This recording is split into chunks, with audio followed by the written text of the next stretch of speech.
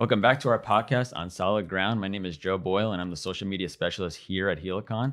And I'm joined with our CEO, Jay Silver, as well as our guest, Rich Kay from Keller Williams. So, Rich, can you tell us a little bit about yourself? Sure. Uh, my name is Rich Kay, as you said, and mm-hmm. I'm a realtor with Keller Williams. Um, I specialize in homes that have been affected by sinkhole. And the reason I chose to have that specialty, which may seem a little strange to people, is for 10 years, I was a senior project manager at Helicon, and I'd handle hundreds and hundreds of uh, repairs and walking homeowners through the process of repair. And it all stuck out to me that other than getting their house repaired, um, homeowners' number one concern was what's going to happen to the value of my house now that it's had a sinkhole. So it was a natural flow into the real estate world um, once once I was done there. And I love my time at Helicon. Helicon is a great company, and uh, had the insurance rules and laws not changed, I would have never left. That's great. Well, we're happy to have yeah. you here. Yeah, super excited yeah. to have, uh, have Rich on the show. He was uh, at Helicon from the sinkhole heyday from 2010 to about 2020, um, but a plethora of uh, knowledge both on the repair mm-hmm. side and and now you've been at Keller Williams about about three years, I think, um, over there roughly. Yeah, three years, and and prior to my entry into the sinkhole world, um, I had my real estate license many years ago, and yeah. and so I wasn't new to the real estate world. Um, I was just coming back to it. Yeah. Nice. So with sinkholes, uh, as everybody's seeing, are hot topic mm-hmm. in the news. Joe, you probably saw the uh, the Highland uh, Polk County oh, yeah, uh, that sinkhole was, that, that just recently, probably most recently, got filled. Uh, also up in the villages, up in Ocala, and uh, also out in Palm Harbor. Mm-hmm. So. Um, they're definitely in the news, and topics have come up about homeowners with concern that aren't even adjacent to the sinkhole. It may be a, a street over or close by um, where homeowners are concerned with value. So we were yeah. excited to have Rich on the show with his uh, realtor expertise and, and background and uh, yeah. try to uh, bring some value uh, to folks out there that may have some concerns around these topics, whether they're looking to buy a, a home that was uh, sinkhole repair, or maybe it was maybe they want to buy an unrepaired sinkhole, or maybe it's a family that wants to sell their sinkhole or repaired sinkhole home and they want to get top dollar. So, uh, exciting topic uh, to discuss today. Yes, definitely. All right, that leads into our first question. So, what are some key factors that potential home buyers should consider when looking at properties with possible sinkhole conditions? Well, obviously, um, if somebody's concerned that a home they're looking at has sinkhole activity and it hasn't been disclosed or the house has never been tested, you know that opens a whole can of worms. Mm-hmm. Um, the reason the reason being for that, if it's never been tested and you go and you see signs of a sinkhole, you know the problem with that is you could say, well, get the house inspected. Well, to have a true sinkhole inspection where they do it, it's thousands and thousands of dollars, and not only that, the people who own the house would need to consent with it, and they may not want to open that can of worms. So for something that's never been tested and you see symptoms there, you know, I I would have to advise my clients if they're actually over concerned that, you know, this probably isn't the house for them in that case there. If it's been tested and we have something to look at, reports to look at, which would be much more ideal, we can assess the situation. Um, if it was a positive sinkhole, positive for sinkhole, was it repaired? If it was negative, we can look at it and make sure that, uh, at least in my from my perspective, having looked at thousands of reports over the years, that okay, it's it's reasonable to assume that this house is fine and that these things are superficial on some level based on the report. Now things change, so it's going to depend on how old the report is, but in the end, it's really due diligence and and using you know a certain level of common sense um, or maybe uncommon sense. Yeah, if you're going in there with somebody who doesn't know what they're looking at, uh, like a realtor who doesn't know, they might just kind of brush it off and say, "Yeah, you know, I don't worry about it. It's never been tested." And and and that, for me, that's not the right that's not the right way to go about doing it. Right, that makes sense. And is it required for realtors to disclose to their clients about any known sinkhole issues with a home they're looking to buy? And if not, why? That's a great question. It is. Uh, question seven on the seller's disclosure is about sinkholes. And it'll ask Has the house ever had a sinkhole, a claim with insurance? Uh, if so, were the proceeds that were paid out by the insurance company used to repair the house? And then it talks about adjacent properties, uh, properties next door. And so that's, uh, you know, that's, I guess, you have to know. And then there's, you know, there are boxes that says don't know, don't know. So, uh, but in general, if if you owned the home when a sinkhole occurred um, and was tested, you're going to know these answers, and you're probably going to have some reports. But it is required to disclose. Mhm. And if you go back years, you'll see there there are people who checked the wrong boxes on that and got in big trouble for it. Oh, so you always want, you know, from my perspective, when I'm talking to a customer, there's nothing to hide there. You have to be honest. You have to be straightforward, and pricing the house accordingly is the way to go. If you had a sinkhole and it was never repaired, that's fine. There's still people who can they're, gonna- that will mm-hmm. buy that house, but you can't say never had a sinkhole, never did this, or or you get yourself in bad trouble. Yeah. Yeah. Likewise, if it was repaired, you want to definitely disclose that. Disclose you that. should have engineering documentation to to go along with it as well. Um, say you get it tested though, Rich, and it uh, comes back with a clean bill of health. Are you required to disclose that to the next home buyer? And I think, from my perspective, I would think you would want to. That that has some value to it. That hey, I had this home tested. Here's my report. Mm-hmm. I have a clean bill of health. There's no sinkhole conditions at my home.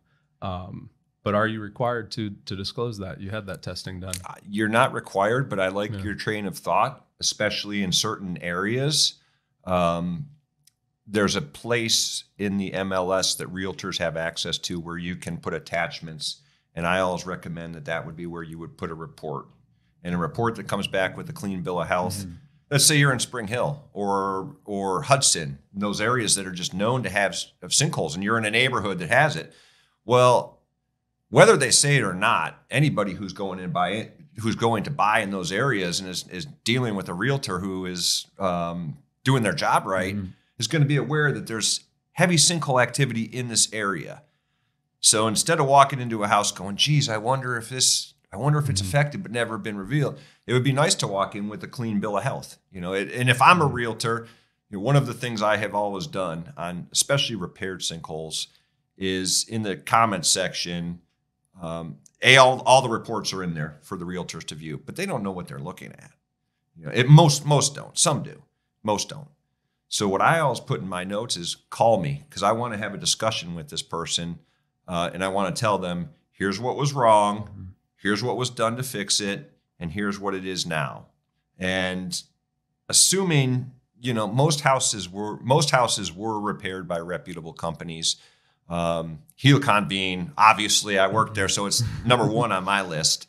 Um, but there's a bunch of there's a there's a handful of reputable companies, and most of them were fixed by reputable companies. Most of them have good. Most of them have reports that go along with that, but not all of them were. Yeah. So the, the point being with it is when it was, especially when it was like a Helicon job, and maybe I was involved in it, and the people hired me to sell their house.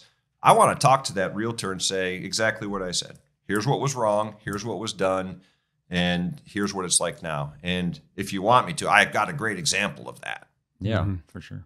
So there was a house in Hillsborough County, Tampa Palms area, actually Pebble Creek, and we did a massive repair on this house. His house was beautiful. It was on a lake, nice house. We did underpinning, we did chemical grout, we did regular grouting. This thing was Fort Knox, you know. And realistically, not only should the fact that it had a sinkhole and it was repaired increase the value, it should have increased it significantly. But as I had to talk to my customer and be realistic with them, I'm like, you know, I know you spent hundreds of thousands of dollars. I don't remember exactly what it was um, to fix this.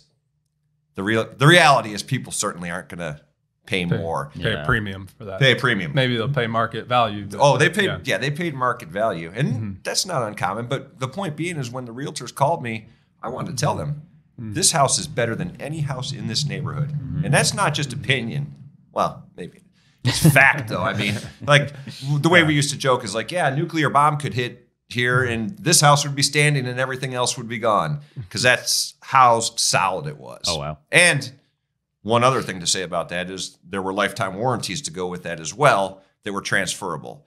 So again, in that case, not only was it not a hindrance, it was a selling point. Nice. But the realtors needed the other realtor needed to know that. I had to I had to convey that to them so that they could convey that to their customer. Right. Exactly. And back backing up uh, on the the first question about if a home buyer is you know that you're working with a buyer, they're looking at a home, and uh, yeah, you you see some potential sinkhole conditions, maybe some light hairline stair step cracking, um, possibly you know windows and doors maybe sticking, or or uh, some of the common common signs. Maybe the concrete has settled in some some areas, um, but you know you and I both know, Rich, it's not definitely sinkhole. There's a lot of different construction defects in stucco and moisture intrusion that can cause cracking that can be similar. Um, so if, if a buyer is extremely interested in a home, but some of these conditions are there, you're right. The the seller probably isn't going to elect to say, yeah, I'll, I'll, test it for you, and we'll go ahead and, and go through that process and spend those funds when you know they probably don't need to do that to sell sell the house. Um, you know how how can they get a you know peace of mind is it through a, a home inspection is it through having you know helicon's happy to come out and do do foundation inspection as well.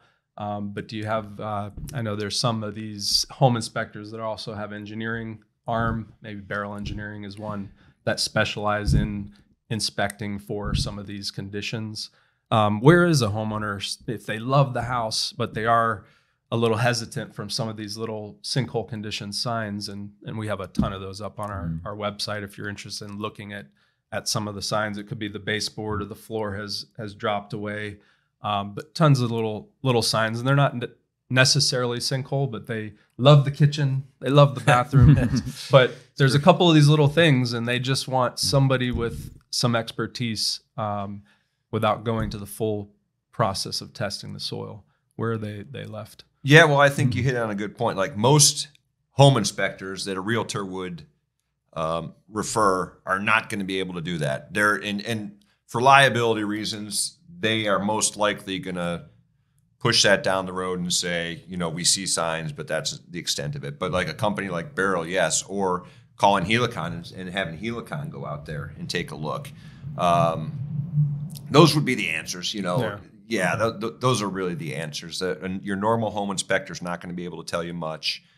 Um, but a, like a company like Barrel Engineering or even Helicon, you know, I mean, you guys look at them all day, every day, and have been Yeah. for for a long time. And a lot of times we'll look at them and say, "Yeah, these are some possible signs, but you'll you'll have to test Yep. to truly know." Yeah, And um, you know, it might not be any anything you need to be concerned with. But uh, I, I had a but if it's, uh, I guess if it's, re, you know, if as we're shifting into kind of if it's repaired, how how hard is it to to sell it? Yeah. um, you know the the people out uh, on the news story with the Polk County, they were really concerned. Once this is fixed, what's the value of my home? Can I get market value? And from the story you shared with us, it sounds like good news if it's done properly, if it's done uh, by a reputable company, if it has some sort of guarantee that you're in very very good position with the value. Is that what you're? So I'm I'm jumping ahead here, Joe. No, you're fine. uh, yeah. how difficult is it to sell these homes? Is it, you know, and and I think to to broaden that horizon, just because of our uh, long tenure, of decades in the industry, let's also the second question: this how was it back 20 years ago Mm. versus now? Because you and I both know it was a different stigma back then, but you know, not to jump back into the past. You know, how is how hard is it to sell these homes? I mean, it sounds like you you sold this one beautiful home. It was like Fort Knox. Oh, it was great. I had, uh, I, in the end, I had, you know, it, So- it was back in the time when you were getting multiple offers. In the end, it turned into a bidding war. Worked out beautifully for my customers. They were thrilled. And uh, s- so, so good news for for homeowners. You, you really don't have any concern. yeah, for real. anytime, As long as it's done properly. anytime I've sold a house that had a sinkhole that was done by a reputable company, um, I have never, I have always advised against any sort of discount on the price. Um, when circumstances are normal, you know, it's so I've always, I've never seen it as a hindrance as far as getting full market value, assuming it's been priced right. And Yeah. so I would get calls from people, sometimes customers, potential customers saying, "Oh, it had a sinkhole. Well, I'm not interested then." And I would try to educate them a little bit on it. Well, here, let me explain why. But I'm not going to waste my breath on somebody who already made up their mind. And what I always told my customers, that's fine. Don't worry about it. Let's say it never had an issue, and 10 out of 10 people who like the kitchen were going to make an offer on it. Well, forget you don't need 10 out of 10. You need one out of Yeah. 10 to get what you're looking for. So it was now let's just say it had a sinkhole, and there's seven out of 10 people go, seven out of 10 people say, Well, I'm still interested. And three go, Well, it had a sinkhole. Again, no offense to those people, but in mm-hmm. certain areas they're they're coming from a place where it should be backwards like almost there's some neighborhoods where it's like if this house has never been tested and never been repaired you really mm-hmm. shouldn't be buying here because look sinkhole mm-hmm. sinkhole sinkhole sinkhole. Oh never been tested never had a problem. Sinkhole. Yeah, You know, that's so that's surrounded by my mindset is a little bit you know common sense. Mm-hmm. Like if you live in a place where there's a lot of crime you ought to have an alarm. Right. That makes sense. Mm. So, how do you advise clients to approach the inspection process for properties with prior sinkhole problems and/or repairs? And like, have you ever Well- had to advise your clients? Yes. Oh, yeah. matter? Absolutely. Yeah. uh, well, I had a customer. Uh, I sold their house, but they had purchased a house um, in Marion County, and they'd already gone up. they- Well, they were in the process of purchasing it, so they were working with somebody else Mhm. up in Marion County, and they called me and said, "Hey, you know, we want you to help. We want you to help us sell our house in Tampa, but we already have a realtor up here. We're thinking about buying this house that had a sinkhole. Can you help us?" And I said, "Send me the reports." And I looked at the reports, and they only had partial reports. See, that's the other part. Sometimes you only get, you know, you need this to see the whole picture, and you only have this, and Right. you have to just, you know, apply common sense. So what I I saw the company that did the repair, good company, been in business for a long time. I saw the procedure that they did, seemed to fit what was wrong with it. Um, most cases, I didn't see the the the the initial inspection. That's the piece that was missing. So I said, when you go to your inspection, walk around. You should be fine based on what I'm saying, but you know, I'm but look for these things. And then basically gave them the list that Jay talked about earlier. Mm-hmm. Is there any stair step cracking? Right. Are there windows or doors that are having problems opening and shutting? Do you see any settlement? How long? And, I, and we knew from the report that the repair had been done, whatever, seven, ten years ago. I don't remember exactly what it was. So, long story short, gave him a laundry list of things to look for.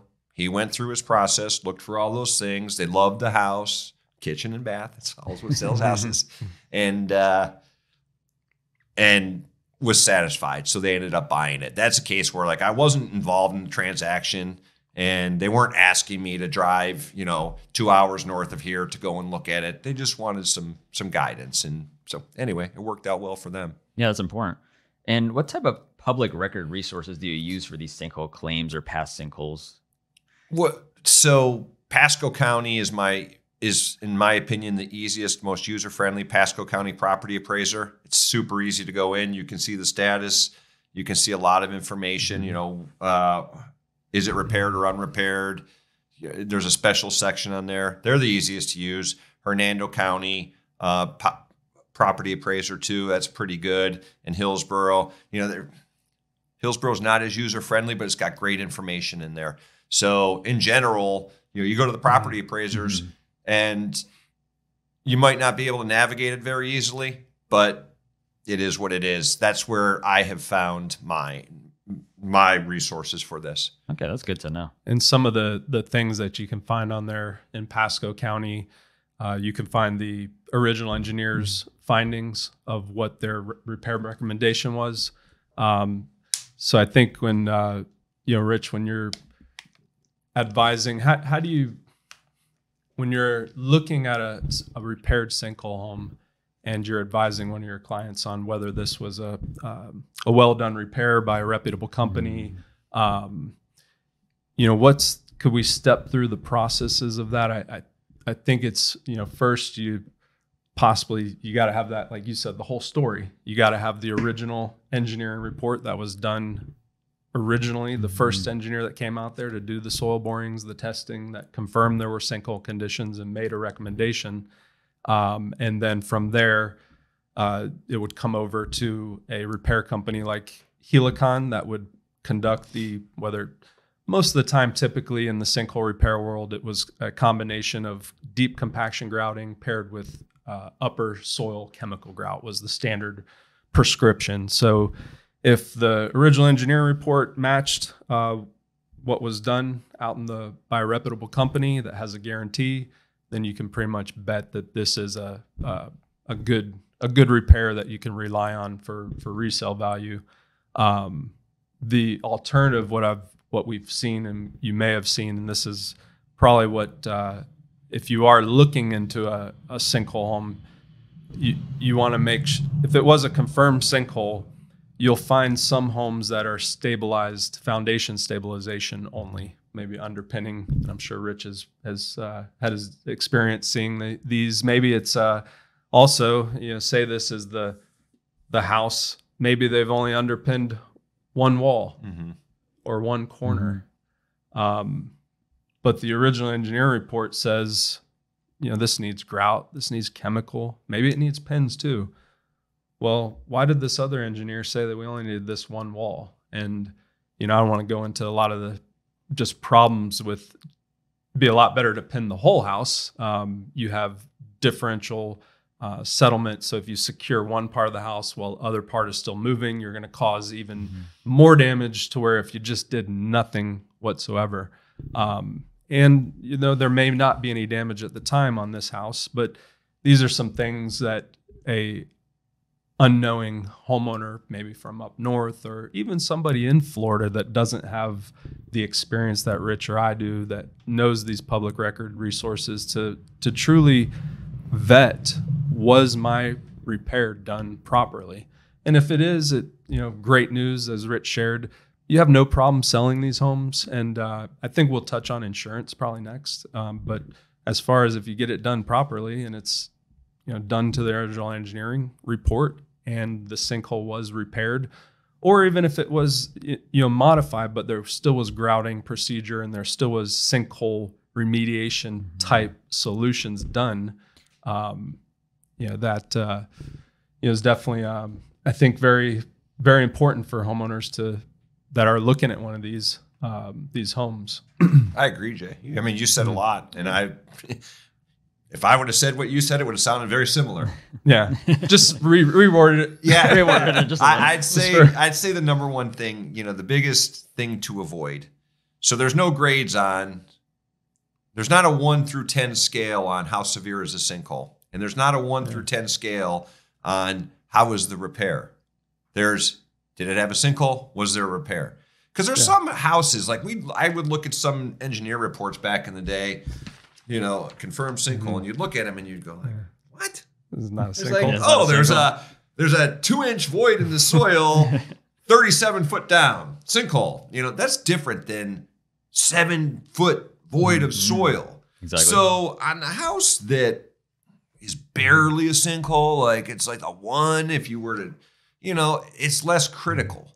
But on the house that's the seven foot void, 23 foot down, boy, you better make sure it was fixed right. And that's the one snafu that I, you know, you want to keep yourself out of. One that was a seven or an eight or a nine on severity that had a one as a repair. Because Ah, that that's yeah, gonna- one that could be a cover collapse situation. yeah, that but could they- be big trouble down the yeah, road. Yeah. That could No, be- you're no, actually you're exactly very- right. Very right, Rich. There. Yeah. So, in your experience, how have sinkhole conditions impacted the appraisal process, and what advice do you have for realtors to navigate this challenge? I taught when I first started doing the hmm. real estate again. I, I have a friend who's an appraiser. Well, not a, hmm. a guy whose his son played baseball with my son, mm-hmm. and he was an appraiser. And uh, you know that was one of the questions I had. I said, "What do you do in sinkholes?" And Right. and the whole thing has evolved really. Hmm. Like Jay was saying, twenty years ago, he would have been scratching his head and trying to do all these. What he told me is like, as long as it's been repaired, and his definition of repair was the county records say it's repaired. Yeah. He uses it normal. Um, and again, that, is that Mhm. right? I don't know, you know, but he Yeah. didn't say like I went. He goes out of his way and this has been my experience with other appraisers too, that they go out of their way to find other houses that had sinkholes that had been repaired. They look at the comps like they would look at a comp if it never had anything, which ultimately, in some cases, is the right way to do it. In some cases, it's not. Right. Yeah, so that leads me into my next question. Can a sinkhole in one home devalue the other homes around it? Or is it like within a certain distance that like it's determined or how does that work? Well, you go back to the question on the um, seller's disclosure, and it only asks about adjacent adjacent uh, Okay. properties. You know, and it's maybe an insurance person Mhm. carrier Yep. would you know expound upon that, but um, I really can't expound on it other than if it's an adjacent property. Okay. And again, it's sort of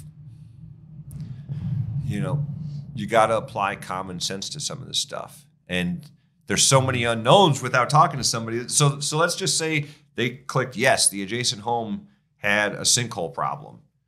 Well in a perfect world can we get those reports to look at them because now i can look and go oh this is a one on the scale no big deal. Or this is a seven. Um, you know interestingly enough in a lot of cases when we would do multiple homes in a row jay and you can speak to this too we would we would grout this side of the house Mm-hmm. and then we go to grout you know the house next door on that side and it would take less grout than we expected Oh, jeez. right It- But I think also Rich is kind of uh, you know alluding to is whether it was a five or a two, as long as it was repaired properly, you know, it's okay. Yeah, it's okay. Um, and if it was adjacent to you, I don't think you you're even required to disclose that about an adjacent property next to you that had a sinkhole repair done. there's a question on it Oh, there is. on- Okay, on- I did not know question that. number seven yeah And then talking about stigma, he brought up 20 years ago, they'd be scratching their head. 20 years ago, there was a stigma, and sinkhole homes probably went for 20, 30%, even if they were repaired, Yeah. probably took about a 20, 30% hit in value. Wow. Um, you know, I'll share my thought on why that is, is, is the thought is that the, the repair process of grouting and chemical was very new back then. And people weren't sure, was this going to be a long-term um, fix. And I think you do have something in here about reoccurrence. Uh, once a home is is fixed with a sinkhole, you know, Rich shared we we back it with a lifetime warranty. We're so confident uh, in the repair process in the way the remediation um, or the repair is conducted. It's a prescribed method. It's followed. It's adhered to very strictly. The process and the results are incredible. We've had, um, you know, knock on wood, we've had about zero re- warranty reoccurrence um, claims to date. Um, but back then, um, you know, it, it was a it was a different uh, it was a different ball game back then. exactly Um, yeah for everybody you know for insurance carriers for everybody it would to- 100% agree it's like Yeah, well it's evolved, like you were it's saying. evolved you know people now it's- know like well if i'm going to buy in spring hill now it's evolved to where people, as if you, yeah, you're going to buy Spring Hill, you're going to buy in Pasco, you're surrounded by a bunch of repaired homes, but yours was never tested. Yeah, it's uh, it's kind of people know now that this is a very secure repair process, and the results are the track record is excellent. Not even speaking for just Helicon, some of our industry peers as well have very good track records with very very low reoccurrence rates, which is great news, and that's probably also why um, it's not seen as a stigma anymore. And, and folks, as long as it's repaired, can get uh, market value. It's it's funny. homes. So people who live in Florida, it's completely not a stigma anymore. But Yeah. some of the listings that I've had in the past, I'll get calls from people. You know, it's a the world is big. The world's very small now. I would get calls from people up north, and they would ask about it, and they were, you know, they were just clueless about.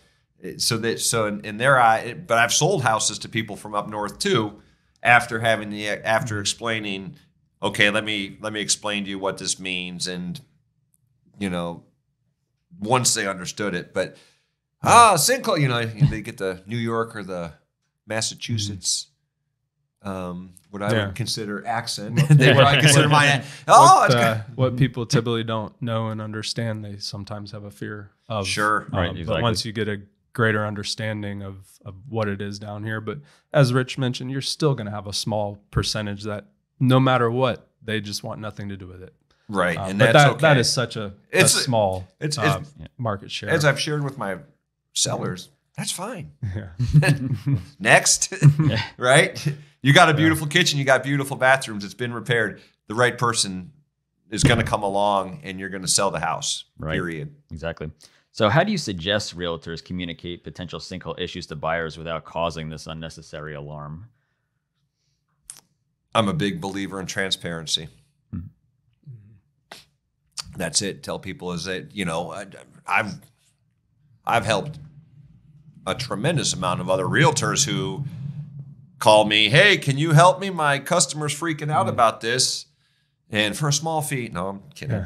I'm, I help people because I'm a helper in life.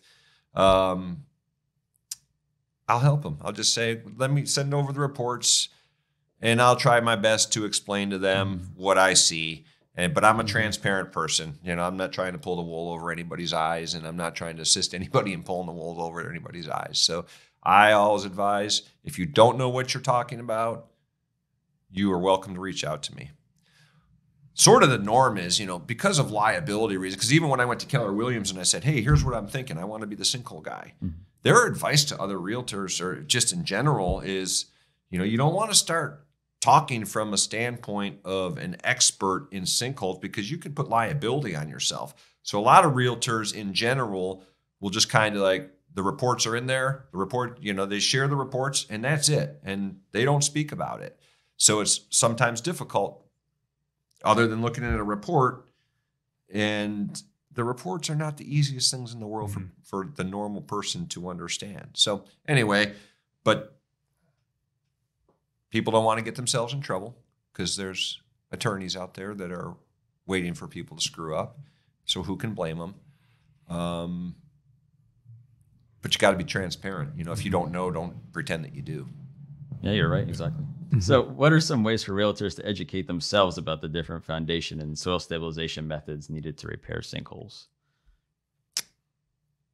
call me. I mean, really, call me or call somebody like Helicon. You know, um, Yeah, there's um, there's tons of Engineers. infor- information online, Yeah, YouTube online. videos on sinkhole repair. We have a plethora of, of content on our YouTube channel that goes in from every ground soil ground improvement, soil stabilization to underpinning helical piles, um, you name it. Just uh, uh, also we we offer um, lunch and learns to to realtors where we'll come in, uh, go over a topic like underpinning or chemical grout or even sinkholes.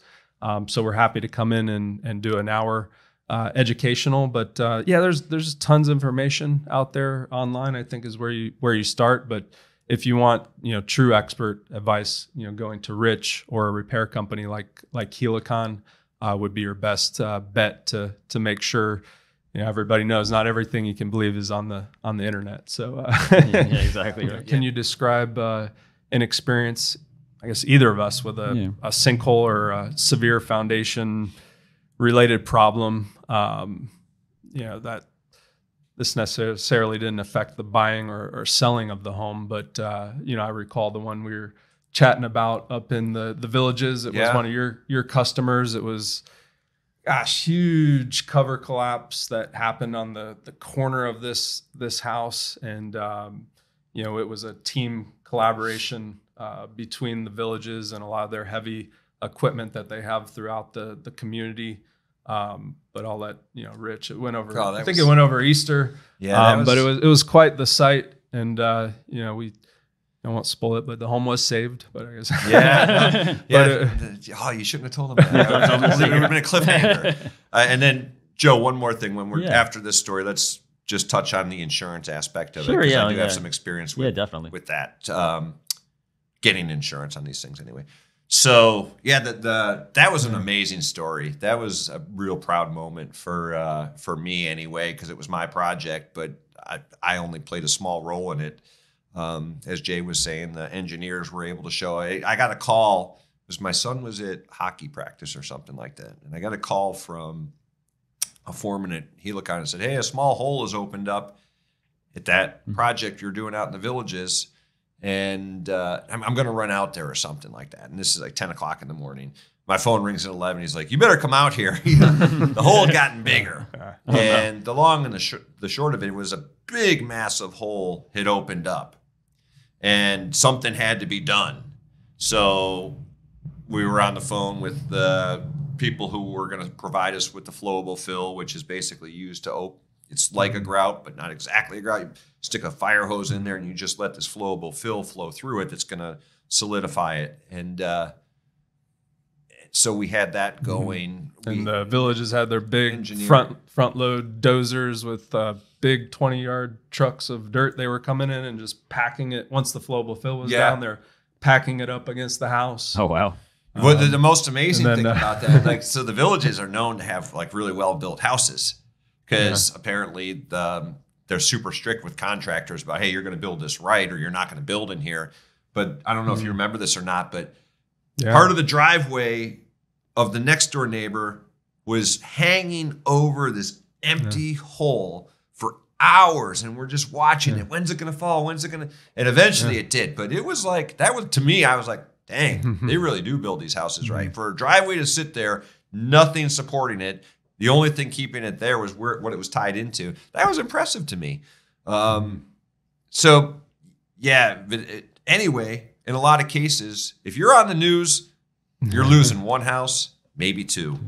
And in those mm-hmm. in that case there i think if if the engineer helicon flowable fill people from Yeah. the villa if we all wouldn't have pulled together Guys for- working over Easter. over we, Yeah. E- Easter weekend for sure. You know, we were there at eleven o'clock at night doing stuff. Uh, I think if everybody would not have pulled together, um, those house, at least one house, Yeah. probably two would have been lost. And by the by, by the miracle of that, and uh, you know, a few prayers on my part, um, not to take credit for it, but it all worked out. And very happy customer at the end of it. And uh, he ended up making out really well because the insurance carrier, after that happened, said, "We don't want to go on with the repair." And we were like, "We're almost there." And they said, "Well, too bad." And their only option at there was to pay him full policy and pay us, so he was able to like walk away. It was a great deal for him anyway. So Yeah, that's great. Yeah, it was a great, great story. But we could go on for another hour. Yeah, right. with, uh, you know, we did a Trinity, Trinity sinkhole at the Trinity Varsity Club Yeah, out, remember in, uh, that. out in uh, Pasco County. That was a was massive, massive. sinkhole that uh, approached the the Varsity Club sports bar, uh, as well as affected uh, Spring Haven uh, community, the the roadway. Uh, but that took us. Uh, a lot of people thought it could not be repaired. Yeah. Um, it took us close to a year and a half um, to get it uh, finally stabilized and done. But it uh, we won in the end, as we as we have uh, to date. You know, knock on uh, Yeah. wood there. We haven't been beat yet by a sinkhole. Yeah. Um, but but yeah, it was a pleasure having you on the show, uh, Rich, and, Yeah, and so talking much. this topic. You know, Rich and I both uh, really enjoy this this topic. We've been uh, in this uh, arena for the last uh, probably 20 years. Um, but uh, you know, happy that Rich is over at Keller Williams and helping folks now that come up with these sinkhole issues and other realtors as well. Yeah, definitely. So just the last thing that might help people. Yeah. I've had I've had on multiple occasions, you know, where I'm selling a house that had been repaired and the people are having problems getting insurance. Mhm. And who's your agent? And I always I there are agents who know how to navigate that water, Mhm. as crazy as it seems, and there are agents who don't. So Janessa, as you know, she has done sink, she has written insurance on repaired sinkhole homes for a long time. And whenever I have somebody who calls me and says their insurance agent is having a hard time getting to them, it's like, make it easy on yourself. Call her because she can get you through it. So there should not be a repaired sinkhole. There should be no problem getting insurance on it. But if you have an un, inexperienced insurance agent, they might tell you that there is. But the best thing to do is find an agent who knows how to navigate those Mm-hmm. Right, that makes waters. Um, And I've never had. I've had people like, oh, we, you know, my my customers are freaking out. They can't get insurance. I was like, relax. Here's her number. Hour later, Rich, I got the insurance bond. it's like, don't it's like, all right, I told you. But anyway, Yeah. for what it's worth, that's that's something that people should be aware of. That don't Mhm. get freaked out if your insurance carrier or insurance person tells you it can't be done. Yeah, It can. You're just dealing with the wrong person at that time. good point. Yeah, that's a good point. Okay, that wraps up our podcast. Thank you, Rich, for joining us today. We really appreciate it. Make sure to like this video and subscribe to our channel for more exciting content like this, and we will see you on the next one.